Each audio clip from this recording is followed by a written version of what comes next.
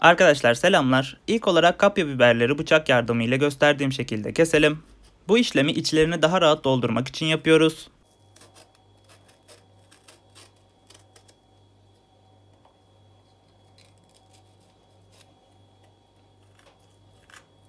Tatlı kaşığı ile içerisini temizleyelim.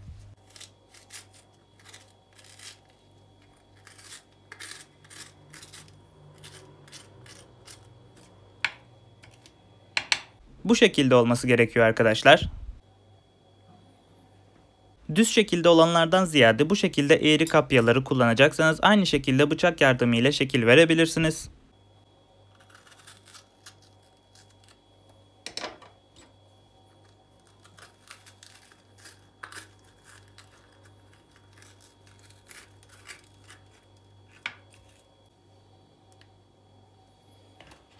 İç harcı için kullanacağımız malzemeleri hazırlayalım.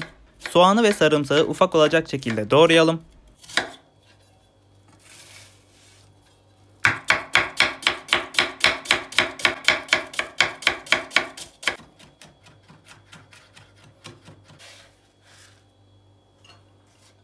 Mantarları soyalım arkadaşlar.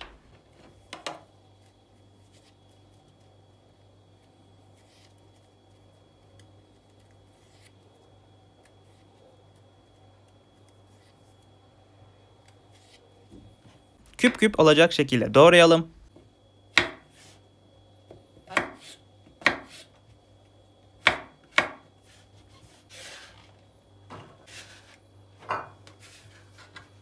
Tavukları da küp küp aynı şekilde doğrayalım.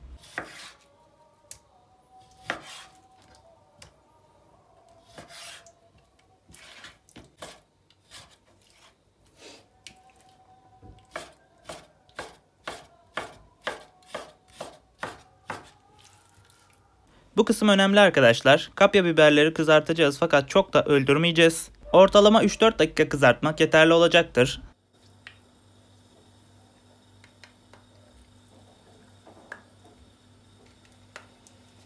Sağını solunu iyice kızartıyoruz.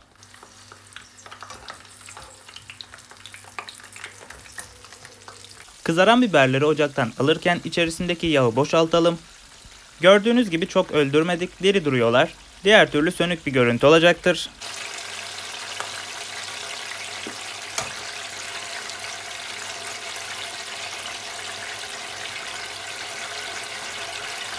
İç harç için ilk olarak mantarlı tavuklu karışımı yapalım. 2-3 yemek kaşığı kadar ayçiçek yağını ekleyip üzerine tavukları dahil edelim.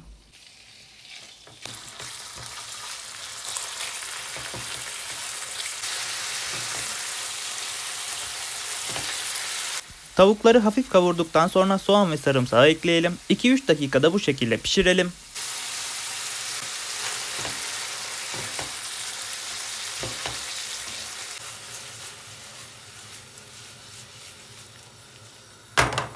Mantarları ekleyip 1-2 tur karıştırdıktan sonra kapağını kapatalım arkadaşlar. Mantarlar buhar yardımıyla daha güzel pişecektir. Bu işlem de ortalama 2-3 dakika sürecektir. Baharatları da ekleyelim ve pişirme işlemini tamamlayalım.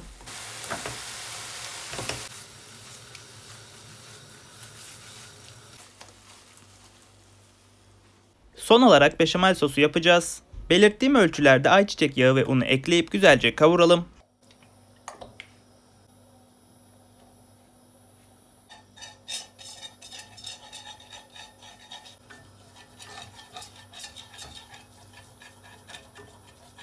Un kokusu geldiğinde süt ile açalım.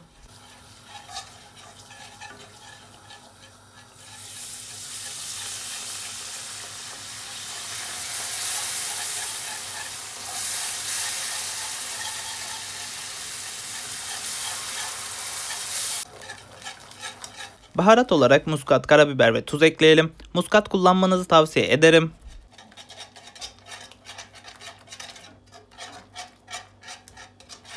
Mantarlı tavuklu karışımımız ile beşamel sosu birleştirelim.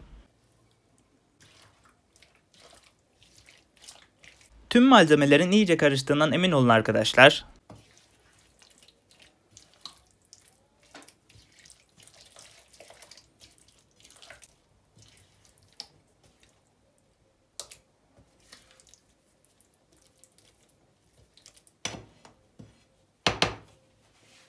Üzeri için kaşar peyniri rendeliyoruz. 50 gram yeterli olacaktır. Uygun bir borcamın üzerine kızarttığımız kapya biberlerini yerleştirelim.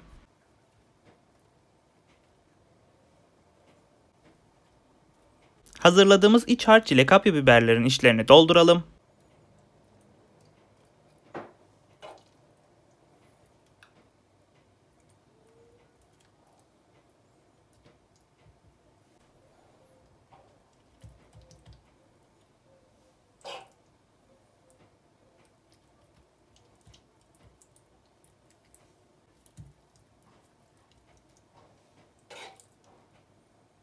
Doldururken illaki kenarına köşesine bulaşacaktır. Peçete yardımı ile silelim ki fırına girdiğinde o kısımlar yanmasın arkadaşlar.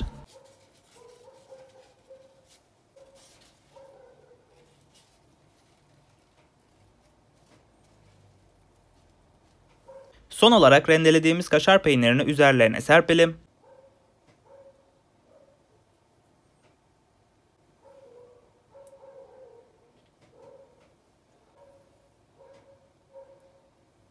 ...230 derecede kontrollü bir şekilde üzerleri kızarana kadar pişirelim.